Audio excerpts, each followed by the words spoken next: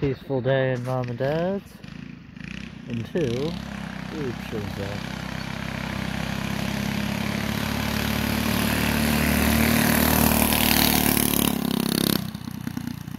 Yeah, pretty sweet. I know you want to buy it.